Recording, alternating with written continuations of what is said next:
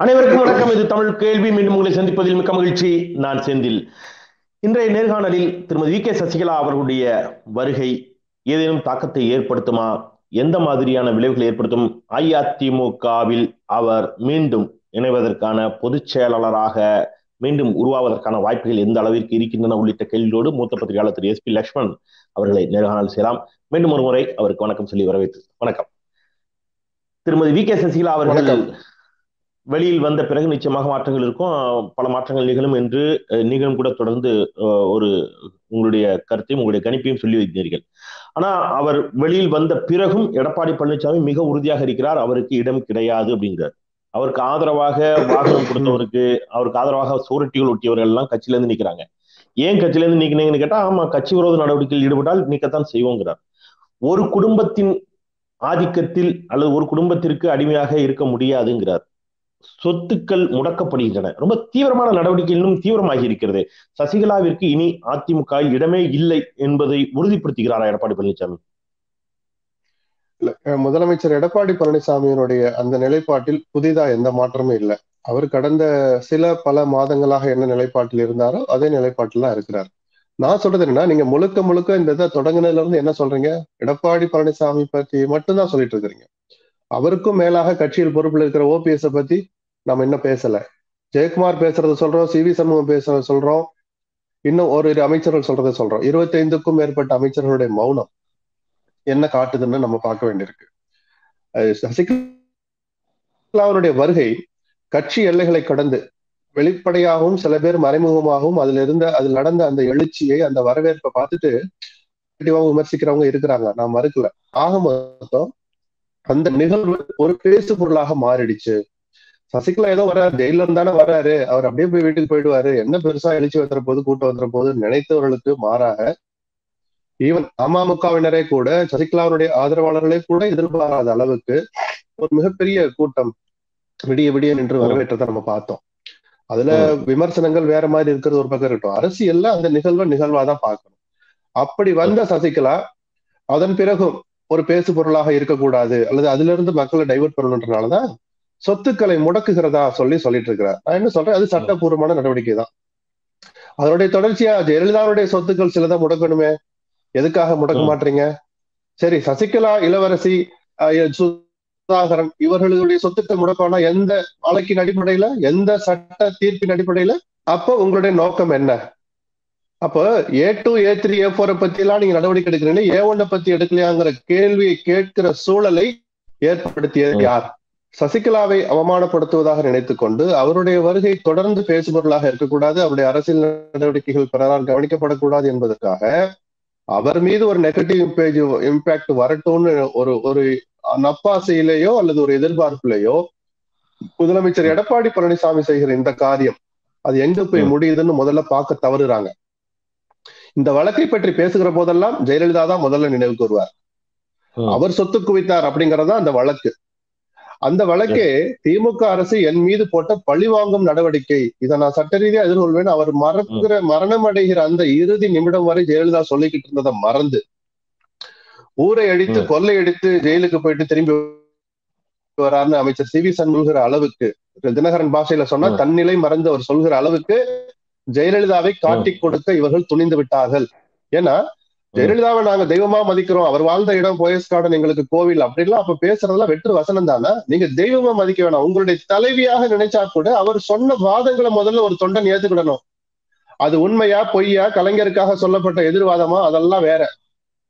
ஒரு தலைவி தன்னை காத்துக்கொள்ள தான் எடுத்த அந்த டிஃபென்சிவ் ஸ்டாண்ட முதல்ல மதிக்கிறவன் தான் உண்மையான தொண்டை அதை செய்ய எடப்பாடி பழனிசாமியும் சி வி சண்முகம் போன்ற அமைச்சர்களும் தவறுகிறார்கள். அதன் மூலமாக ஜெயலலிதாவை அவமானப்படுத்துகிறார்கள் இப்போ நீங்க இளவரசி சுதாகரனுக்கு சொந்தமானங்கிற வார்த்தையே லீகலா தப்பு. அதுல அந்த சொத்துக்கெல்லாம் அவங்க பங்குதாரர்கள் தான். நான் ரொம்ப டெக்னிக்கலா உள்ள போகும்ல அவங்களே அதை கேள்வி கேட்க தயாரா இல்ல முடக்கிறதா முடக்கிக்கங்கன்ட்டாங்க. அது வேற விஷயம். நான் என்ன சொல்றேன்? அப்போ இதையெல்லாம் முடக்க துணிந்த நீங்கள் ஜெயலலிதாவுடைய சொத்துக்களை முடக்க தயாரா? அப்ப சட்டப்படிதான் எல்லாம் நடக்குன்னு சில அமைச்சர்கள் வியாக்கியானம் பேசுறாங்களே அந்த சட்டப்படி நடந்து ஜெயலலிதாவுடைய சொத்துக்களை முடக்குங்க. அதிமுக தொண்டர்கள் உங்களை என்ன மரியாதை கொடுத்து வரவேற்கிறாங்கன்னு அதையும் பார்ப்போம். நான் சொல்ற புரியுதுங்களா? இது சசிகலாவை அவமானப்படுத்தாத நினைத்துக் கொண்டு ஜெயலலிதாவுடைய நினைவிடத்தை மூடுறீங்க. அவர் வாழ்ந்த வீட்டு போயஸ் கார்டன் வீட்டை பூட்டி சாவியை கொண்டு கலெக்டர் கொடுக்குறீங்க. ஏதாவது ஒரு செயல் சசிகலா என்கிற அந்த பெயர் தொடர்பாக விவாதம் எழுந்த இந்த ஒரு மாதத்தில் எடப்பாடி பழனிசாமி அரசு செய்த ஏதாவது ஒரு காரியமாவது ஜெயலலிதாவுக்கு பெருமை சேர்க்கிறதா? இல்லை அவரை அவமானப்படுத்துறாங்கிறத நம்ம மக்கள் தொண்டர்கள் முடிக்க விட்டலாம் அதுக்கு அவங்க ஒரு வாதம் தொடர்ச்சி வைக்கிறாங்க. செல்வி ஜெயலலிதா அவர்களுக்கு குடும்பம் கிடையாது. அவருக்கு குழந்தைகள் கிடையாது. அவர் இவ்வளவு தூரம் சொத்து சேர்க்கணும்னு ஆசையை பட்டிருக்க மாட்டார். படல. அப்போ இவ்வளவு தூரம் ஊழல் செய்தது சொத்துக்கள் சேர்த்தது சொத்துக்களை குவித்தது எல்லாமே இவர்களுடைய குடும்பம் தான். இவங்களுக்கு ஒரு பெரிய குடும்பம் இருக்கு. ஒரு பெரிய நெக்சஸ் இருக்குது. அப்போ அவர்கள் அதிகாரத்துக்கு வர வேண்டும் என்பதற்காக செல்வி ஜெயலலிதா அவர்களை தவறாக பயன்படுத்தி இவங்க முறைகேடாக சொத்துக்கள் சேர்த்து விட்டார்கள். இப்ப ஜெயலலிதா இறந்து விட்ட பிறகு இந்த சொத்துக்கள் எல்லாம் யார் அனுபவிக்க போறா? அவங்க தானே அனுபவிக்க போறாங்க. அப்ப இது முறைகேடாக சேர்த்த சொத்துக்கள். இப்ப நீங்க ஜெயலலிதா. உங்க குடும்பமும் வாரிசும் இருந்திருந்தா அந்த கேள்வி வந்திருக்காது. இப்ப. இவங்க முறைகேடா சேர்த்ததுனால இவங்களை அனுபவிக்க விடாம நாங்க தடுக்கிறோம் அப்படிங்கிற இடத்துக்கு தானே அவங்க நகர்றாங்க. இது ஒரு முட்டாள்தனமான அறிவற்ற வாதம். ஜெயலலிதாவை சிறுமைப்படுத்துகிற ஜெயலலிதாவை அவமானப்படுத்துகிற அடுத்த காரியம் இது. இது அதிமுக உண்மையான அதிமுக தொண்டன் ஒருத்த வாயில இருந்து கூட வரக்கூடாத வார்த்தை. புரியுதுங்களா சசிகலா ஊழல்வாதி என்று எவராது சொன்னால் அவர்களுக்கு அறிவு இன்னும் அவ்வளவு வளர இருந்தா நான் சொல்லுவேன். சசிகலா விமர்சனத்துக்கு அப்பாற்பட்டவர் அல்ல. அவரை மேடை போட்டு விமர்சிப்பதற்கு ஆயிரம் விஷயங்கள் இருக்கலாம். நீங்க அதெல்லாம் தனியா பேசுங்க. ஊழல் என்று சொன்னால் அரசு பதவியில் அமர்ந்து கொண்டு எடுக்கக்கூடாத முடிவை எடுப்பது முறையற்ற செயலை செய்வது அதன் காரணமாக சொத்தை தான் சேர்ப்பது. இதுதான் ஊழல். புரியுதுங்களா? சசிகலா கவுன்சிலர் பதவியில இருந்தாரா? எம்எல்ஏவா இருந்தாரா? அமைச்சர் பதவியில முதலமைச்சர் பதவியில இருந்தாரா? எந்த ஃபைல்ல எந்த உத்தரவை போட்டு சசிகலா சொத்தை சேர்த்தார்? ஜெயலலிதாவுக்கு தெரியாம சேர்த்துட்டான்ற வார்த்தையை சொல்கிற போதே நீங்கள் ஜெயலலிதாவை அவமானப்படுத்தீர்கள். புரியுதுங்களா? அறிவாளி என்று வர்ணிக்கப்படுகிற ஜெயலலிதா அதை பல நேரங்களில் நிரூபித்த ஜெயலலிதாவை நீங்க அவமானப்படுத்துறீங்க. சரி இப்படி எல்லாம் ஊரை அடித்து கொள்ளை அடித்த சசிகலாவை எதுக்காக பொதுச்செயலரா தேர்ந்தெடுத்தீங்க?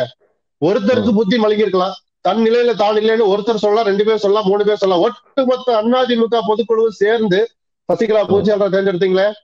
நூத்தி முப்பத்தி ரெண்டு எம்எல்ஏக்கள் சேர்ந்து சசிகலாவை சட்டமன்ற கட்சி தலைவரை தேர்ந்து முதலமைச்சராக தேர்ந்தெடுத்தீங்களே. ஒரு பத்து பேருக்கு புத்தி மழுங்கிடுச்சுன்னா பரவாயில்ல. நூத்தி முப்பத்தி ரெண்டு பேருக்குமா புத்தி அந்த இடத்துல பேதலிச்சு போயிடுச்சு.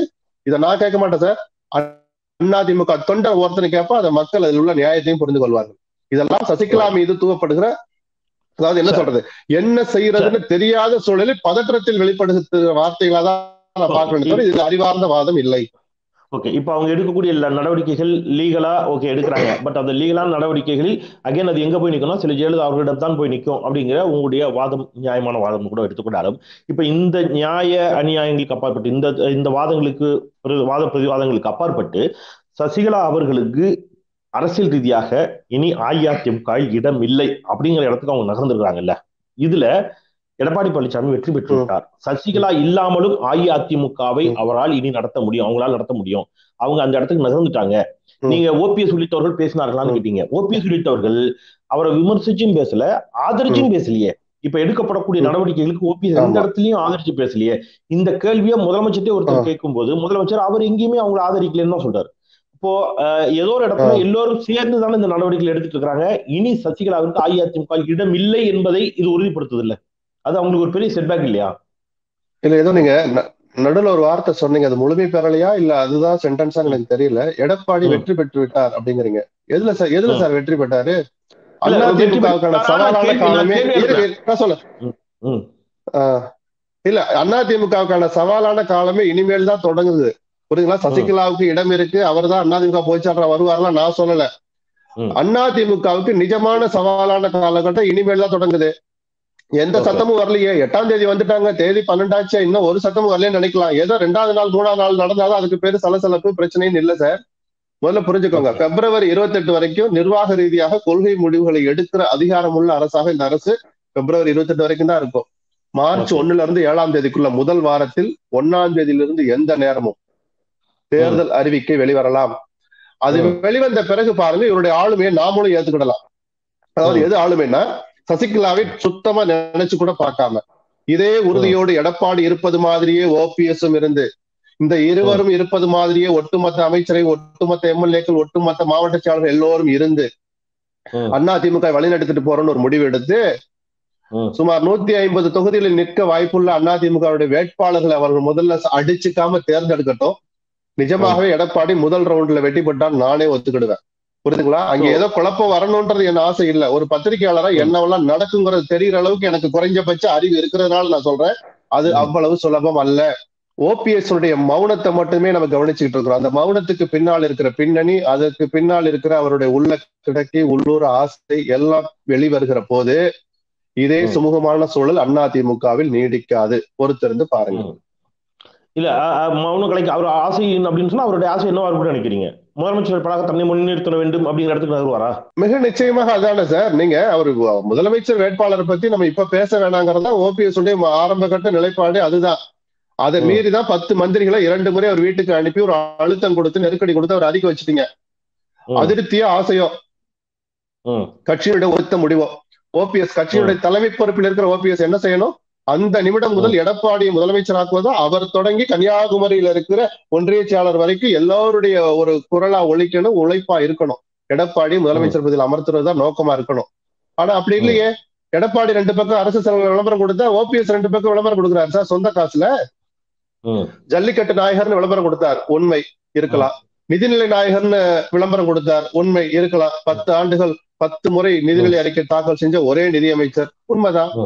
முதல்வன் ஓபிஎஸ்ன்னு விளம்பரம் கொடுக்கிறார். அதுக்கு என்ன அர்த்தம் நீங்களும் ஊடகவியலாளர் தானே? எதை யோசிப்பீங்கன்னு சொல்லுங்க எனக்கு. என்ன சொல்ல வருகிறார் ஓபிஎஸ் அந்த விளம்பரங்கள்ல ரெண்டு பக்கம் அத்தனை அத்தனை பாரா பாராவா எழுதிக்கிறாரு அந்த விளம்பரம் முடிகிற போது இப்படிப்பட்ட. சாதனைகளை செய்த நான் அங்க வகிக்கிற இந்த அரசு தொடர வேண்டுமானால் எடப்பாடி பழனிசாமி தலைமையில் தொடர வேண்டுமானால் இரட்டை இலைக்கு வாக்களிங்கன்னு ஒரு வார்த்தை அதுல இருக்கான்னு சொல்லுங்க. அப்ப ஓபிஎஸ் என்ன நினைக்கிறார். இந்த மௌனம். இது மிக முக்கியமான மௌனம். ரெண்டாவது பிஜேபியினுடைய மௌனம் நான் தொடர்ந்து சொல்லுவேன். அவர்கள் வெளிப்படையாக தேசிய தலைமை அறிவிக்காத வரை. அவர்கள் எடப்பாடியை ஏத்துக்கலன்னு தான் நான் சொல்லுவேன். எல் முருகன் ம். சொல்லிட்டாருன்னு ரெண்டு மூணு நாளா கூச்சல் போட்டுட்டு இருக்காங்க அந்த எல் ம். முருகன் வேற மாதிரி ஒரு கருத்தை சொன்னபோது எல் முருகன்லாம் ஒரு ஆளாங்க. தேசிய கட்சின்னா தேசிய தலைமை தாங்க அறிவிக்கணும். சொன்னது நான் இல்ல சார். ஜெயக்குமாரும் கே பி முனுசாமியும் அவர்கள் கருத்தை நான் இப்ப நான் வழிமொழிகிறேன் தேசிய கட்சியினுடைய தலைமை தான் இங்க இருக்கிற என்ன சூழல்னு அவங்க அதிகாரப்பூர்வமா அறிவிக்கணும். அவர்கள் எடப்பாடி பழனிசாமி பேரை அறிவதற்கு அறிவிக்கும். வரை அங்கே குழப்பம் இருப்பதா தான் நான் பார்ப்பேன். ஓகே இப்போ ஓபிஎஸ் ஒருவேளை மௌனம் கலைத்தாலும் அது எந்த அளவுக்கு சசிகலாவுக்கு ஃபேவரா இருக்கும்? அது ஓபிஎஸ் தன்னை முன்னிறுத்திக் கொள்ள இருக்க வேண்டுமானால் அது பயன்படுமே தவிர அதுல சசிகலாவுடைய ரோல் என்னவா இருக்கும்? அல்லது சசிகலா அதை ஆதரிப்பாரா? அல்லது சசிகலாவுடைய ஆதரவை அவர் கேட்பாரா? இதுல எப்படி பார்த்தாலும் இந்த ஃபைட் வந்து இருவருக்கு இடையில தானே? ஓபிஎஸ் இபிஎஸ் இடையிலான ஃபைட்டா தான் இருக்குமே தவிர இல்ல சசிகலா வெளியில இருந்து வெறும் பார்வையாளர் மட்டும் தானே இதுல சசிகலாவை ஏன் தொடர்புபடுத்துறீங்கன்னு நான் கேட்கிறேன் நான் சொல்றது அதிமுக அரசியல். நானே சொல்லலையே சசிகலா இடத்துல வந்து உள்ள வந்து நுழைஞ்சுக்கிட்டு தனக்கான இடத்தை அப்படியே அகலப்படுத்திக்குவார் நான் சொன்னேன்னா சசிகலாவை நான் தொடவே இல்லையே. ஓபிஎஸ் மௌனம் அதற்கு பின்னால் இருக்கிற விஷயம் அது பின்னணி யாரு அது என்ன நடக்க போகுது அது என்ன இம்பாக்ட் ஏற்படுத்தா சொல்றேன். அந்த. அதிமுக குழப்பங்கள் நடக்கிற போது அதிமுக தொண்டன் ஒரு தேடல்ல இறங்கும் ஏற்கனவே தேடல்ல இருக்கிறான். ஆளுமை மிக்க தலைவர் நமக்கு இல்ல. ஆளுமை என்று சொல்லிக் கொள்கிற ரெண்டு பேருக்கு இடையில ஒற்றுமை இல்ல. இதெல்லாம். தெரிஞ்சுட்டு இருக்கிற தொண்டன் அந்த. சண்டை அதிகமாகிற போது மிக முக்கியமான யுத்தம் நெருங்கி வருகிற போது இன்னமும் சண்டை தீராமல் இருக்கிறத அவன் கண்ணால். பார்த்துட்டு தான். ஆளுமை தேடலை தீவிரப்படுத்துவான். அப்பதான் சசிகலா ஜனகரன் போன்றவர்களுடைய அந்த முக்கியத்துவம் அவர்கள் வந்து இணைஞ்சா நல்லா இருக்குன்ற பேச்சு இன்னும் கொஞ்சம் வலுப்பெறும் சொன்னே தவிர ஓபிஎஸ் பின்னணி உடனே அது சசிகலாவுக்கு சாதகமா இருக்கும் நானும் சொல்லலையே. எடப்பாடி தன்னுடைய ஆளுமையா நிரூபிச்சிட்டார் அவர் வெற்றி பெற்றுக்கிட்டே போறார் அவர் தன்னுடைய நிலைப்பாட்டுல உறுதியா இருக்காரு நம்ம எல்லாரும் சொல்றோமே பாக்குறோமே. அந்த நிலைப்பாட்டுக்கு முதல்ல ஒரு இடைஞ்சல் வரும் அப்படின்றத என்னுடைய கருத்து. மார்ச் ஒன்னாம் தேதியில இருந்து அது தொடங்கும். அதை. சமாளிச்சுட்டாருன்னா எடப்பாடி மிக நிச்சயமாக ஒரு ஆளுமைன்னு நம்ம ஏத்துக்கிடலாம். ஓகே. மார்ச் ஒன்றாம் தேதி ஒரு ஒரு ஒரு மார்ச் ஒன்றாம் தேதிக்கு பிறகு ஒரு நெருக்கடி ஏற்படும் அப்படிங்கிறது ஒரு கணிப்பு ஒரு யூகம். உங்களுடைய இதுல அப்படி ஏற்படுவதற்கான வாய்ப்பு இருக்கு. அதை தாண்டி ஆச்சுன்னா நிச்சயமா அவர் வெற்றி பெற்றுவார் அப்படிங்கிற இடத்துக்கு வந்துட்டு பொழுது நீங்க பத்து அமைச்சர்களை அழு அனுப்பி அழுத்தம் கொடுத்தது மட்டுமே ஓபிஎஸ் வந்து அவரை முதலமைச்சராக ஏற்றுக்கொண்டதுக்கு காரணம் அப்படிங்கிறது எந்த அளவுக்கு சரியா இருக்கும்? பொதுக்குழுல அவரே சொன்னார். எடப்பாடி பழனிசாமி வந்து முதலமைச்சர் வேட்பாளராக முன்னிறுத்தப்பட்டதை ஆதரித்தும் அதை வரவேற்றும் அதை முன்னிறுத்தியும் ஓபிஎஸ்ஏ பேசினார் பொதுக்குழுல அஹ் அதை அந்த வாதத்தை எப்படி புரிஞ்சுக்கிறது? அப்ப அவ்- அவ்வாறு பேசிய ஓபிஎஸ் மார்ச் ஒன்றாம் தேதிக்கு பிறகு மாறி விடுவார் அப்படிங்கிறது எத்தனை விழுக்காடு சாத்தியமுள்ள ஒன்று? பொதுக்குழுல ஓபிஎஸ் என்ன பேசினார் சார்? கொஞ்சம் எனக்காக சொல்லுங்களேன். இந்த இந்த இந்த நிகழ்ச்சியை பாக்குற நேர்களும் புரிஞ்சுக்கட்டும். பொதுக்குழுவில் எடப்பாடியை மீண்டும் முதலமைச்சர் ஆக்குங்கிற வார்த்தை எ- எடப்பாடி பழனிசாமி முதலமைச்சர் வேட்பாளராக அண்ணன் எடப்பாடி பழனிசாமி அப்படிங்கிற வார்த்தையை ஓபிஎஸ் பயன்படுத்தவில்லையா? நீங்க சொல்லுங்க. எனக்கு தெரிஞ்சு இல்ல. என்னை. அப்படி அறிவித்த அண்ணன் ஓபிஎஸ்க்கு நன்றின்னு எடப்பாடி சொன்னதை நான் கவனிச்சேன் வீடியோவும் பார்த்தேன். நான் என்ன சொல்றேன்? இப்படி நினைவுபடுத்தி பாத்தீங்களான்னு நான் ஒருவேளை கவனிக்காம விட்டுருந்தா கூட ஒண்ணும் தப்பு இல்ல. நீங்க சொல்றதை நான் நம்புவேன். இப்படி ஞாபகப்படுத்தி ஒரு மேடையை சொல்ற அளவுக்கு சொல்றேன். நீங்க. ஓபிஎஸ் பேசுற ஒவ்வொரு மேடையிலும் அதை சொல்லணும் இல்லையா? வாரத்துக்கு ரெண்டு இடம் விளம்பரம் கொடுக்குறாங்கல்ல ஒரு ஒரு விளம்பரத்துல இது வரணும்ல. ஒரு முறை விளம்பரம் கொடுக்குற முப்பது லட்சம் செலவு பண்றாங்களே. அவ்வளவு லட்சக்கணக்குல செலவு பண்ணி வெளியிடுற ஒவ்வொரு விளம்பரத்துல அந்த வாசம் இடம் பெறணும்னு தான் நான் சொல்றேன். குழப்பம். வரணும்னு நான் எதிர்பார்க்கல. உங்களுடைய நோக்கம் எடப்பாடியும் முதலமைச்சர் பதவியில் அமர்த்துவதாக தான் இருக்கணும்னு நான் ஓபிஎஸ்க்கு சொல்ற மாதிரி ஒன்றிய செயலர் வரைக்கும் நான் சொல்லுவேன். புரியுதுங்களா? அந்த வார்த்தை நீங்களே அந்த அங்க பாத்தீங்களா? அதுல ஒரு நாற்பத்தி ரெண்டாயிரம் நிமிஷம் ஓட்டி பாருங்க. அங்க ஓபிஎஸ் சொல்லிருப்பாரு இப்படி தேடி போய் சொல்லணுமா? சொல்லுங்க. சார். அவர் யாரும் வரத நாட்டுல ஒன்றிய செயலர் இல்ல. கட்சியினுடைய தலைமை பொறுப்புல இருக்கிற ஓபிஎஸ். தினந்தோறும் அந்த வார்த்தையை சொல்லணும். பேசுகிற மேடை தோறும் அதை சொல்லணும். ஆனால் எனக்கு தெரிந்து ஒரு மேடையிலையும் சொல்ல முதல் பிரச்சார கூட்டம் நீங்க பொதுக்குழு விடுங்க சார். எடப்பாடி பழனிசாமி முதலமைச்சர் வேட்பாளராக அறிவித்த பிறகு நடக்கிற முதல் பிரச்சார கூட்டம். ஓபிஎஸ். சொன்னாரா அந்த வார்த்தையை? சொல்லல. அவர் சொல்கிற வரை நான் அதை சொல்லி காட்டிட்டு தான் இருப்பேன். ஒரு பத்திரிகையாளராக நம்மளுடைய கடமையும் கூட. அதை கவனிக்கிறதா நம்ம வேலை. ஓகே இப்போ இருக்கக்கூடிய சிக்கல்கள்ல அஹ், அஹ், சட்ட ரீதியாக சசிகலா போட்டியிட முடியுமா அப்படிங்கிற கேள்வி இருந்துச்சு நீங்களும் சொன்னீங்க. அதற்கான வாய்ப்புகள் அவங்க செய்வாங்க. கே- சில ஏற்கனவே சில நிகழ்வுகள் நடந்திருக்கிறது அப்படிங்கிறதெல்லாம் சுட்டிக்காட்டி பல பத்திரிகையாளர்களும் பேசியிருக்கிறார்கள். இது ஒரு பக்கம் இருந்தாலும் எடப்பாடி பழனிசாமி ஓபிஎஸ் சிபிஎஸ் அவர்களுக்கு வேறு ஒரு அச்சம் இருக்கிறதா? இவர்களை உள்ளே சேர்த்தால் ஒருவேளை சசிகலா முதலமைச்சர் வேட்பாளராக நிறுத்தப்படுவதற்கான வாய்ப்புகள் இல்லாமல் போனால் டிடி தினகரன் முன்னிறுத்தப்படக்கூடும். அப்படிங்கிற அச்சத்தில் டிடிவி தினகரன் தான் அவர்களுக்கு பிரதான எதிரியாக இருக்கிறார்களா? டிடிவி தினகரனின் மீது இருக்கக்கூடிய அந்த கோபம் அந்த அச்சம் அந்த எதிர்ப்புணர்வு தான் சசிகலாவையும் சேர்த்து நிராகரிப்பதற்கு எதிர்ப்பதற்கு இவர்களை தூண்டுகிறதா? இல்ல மிக நிச்சயமாக தினகரன் யார்? அவருடைய ஆளுமை என்ன? அவருடைய நிர்வாகத்திறன் என்ன? அரசியல் களத்தில் அவர் எப்படி செயல்படுவார்? அத்தனையும் ஒரு சதவீதம் கூட குறையாமல் முழுமையாக அறிந்தவர்கள் தான் இன்னைக்கு இருக்கிற அமைச்சர்கள். முதலமைச்சர் எடப்பாடி பழனிசாமி உட்பட துணை முதலமைச்சர் ஓபிஎஸ் உட்பட அத்தனை பேருக்கும் அது. தெரியும். அப்படி நிர்வாக திறன் மிக்க ஒரு தினகரன் உள்ளே வந்தால் நாம என்ன கதி ஆவோம் அது ஏதோ பழி வாங்கிடுவார்ல நாங்கள் வகிக்கிற பதவிக்கு ஆபத்து வரும்னு நினைக்கிறாங்க இந்த தினகரனுக்கும் இந்த. அமைச்சரவைக்குமான முதல் மோதல் எப்ப தெரியுமா தொடங்குச்சு ரெண்டாயிரத்தி பதினேழு ஏப்ரல் பதினாலு தமிழ் புத்தாண்டு அன்னைக்கு தான் தொடங்குச்சு. அன்னைக்கு தினகரனை சந்தித்து. வாழ்த்து தெரிவிக்க வந்த பத்துக்கும் மேற்பட்ட அமைச்சர்கள் வீட்டுல உட்கார்ந்து இருந்த போது இரண்டு அமைச்சர்களை முகத்துக்கு நேராக சுட்டிக்காட்டி அவருடைய அமைச்சர் பெயரை சொல்லி உங்க துறையில ஊழல் அதிகமா நடக்குது பாத்துக்கங்கன்னு ஒரு வார்த்தை சொன்னார். பாத்துக்கங்கன்னு சொன்னார். அது. அந்த அமைச்சருக்கு பிடிக்கல. இத மீதம் இருக்கிற ஒன்பது அமைச்சர்கள் இன்னைக்கு சொல்ல மறுப்பாங்க. நாளைக்கு அந்த ஒன்பதுல ஒருத்தராவது புத்தகம் எழுதுகிற ஆர்வமுள்ள ஒருத்தர் புத்தகம் எழுதுற போது வரலாறு இதை சொல்லும். ஓகே. ஊழல் நடப்பதை குறையுங்கள் விமர்சனம் வராமல் பார்த்துக்கங்கன்னு சொன்னதுதான் தினகரனுடைய குற்றம்.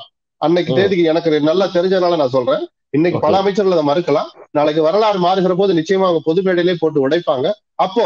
அந்த குணமுள்ள தினகரன் வந்தால் நம்மளை கண்டிப்பார் தடுப்பார் சுதந்திரமாக சுதந்திரமான எந்த சுதந்திரமாக மக்களுக்கு புரியும் அப்படி. செயல்பட விடமாட்டாருங்கிற அந்த பயம்தான் தான். முதலமைச்சர் வேட்பாளராக அறிவிக்கப்பட்டிருக்கிறதுக்கு ஓபிஎஸ் உள்ளிட்ட தினகரன் மட்டுமால் மட்டுமல்ல ஓபிஎஸ் ஆல் கூட அந்த ஆபத்து வரலாம் அந்த ஓபிஎஸ் சசிகலாவை தினகரனா ஆதரிக்கலாங்கிற அந்த எடப்பாடிக்கு இருக்கிற பயம்தான் தினகரன் என்கிற அந்த ஒற்றை நபரை பார்த்து இவ்வளவு தூரம் மிரள்கிறார்கள் அவருடைய சமுதாயத்தை குறிப்பிட்டு தன்னிலை மறந்து விமர்சிக்கிற அளவுக்கு சில பேர் போறாங்க.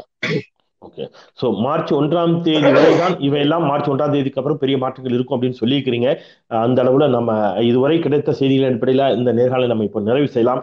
அடுத்தடுத்த அப்டேட்ஸ் இதில் இருக்கின்ற பொழுது நிச்சயமாக மீண்டும் ஒரு முறை கூட நீங்கள் இதில் எங்களோடு இணைவீர்கள் என்ற நம்பிக்கையோடு இந்த நிமிடம் நான் உங்களிடமிருந்து விடைபெறுகிறேன். உங்கள் வருகைக்கு நன்றி திரு எஸ் பி லட்சுமணன். நன்றி. நிறைவு செய்யலாம் சொந்தங்களே குரலற்றவர்களின் குரலாய் நான் செந்தில்.